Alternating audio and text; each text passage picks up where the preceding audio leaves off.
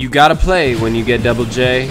In middle position here, we raise the straddle up to 40. It folds around to the small blind and he makes the call. The straddler goes all in for just $5 more. Of course, we both make the call and we're going three ways to the flop.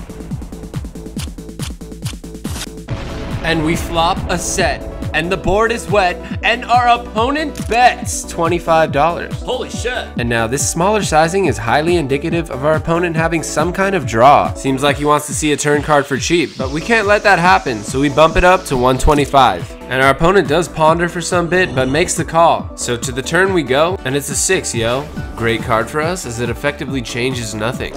Except now he goes all in for 590. And of course, we make the call. He tables king 10 of spades, so we are in danger here. But it's okay, because we have a dream. And when you have a dream- Oh, wait, she already put the river out. It was a nine.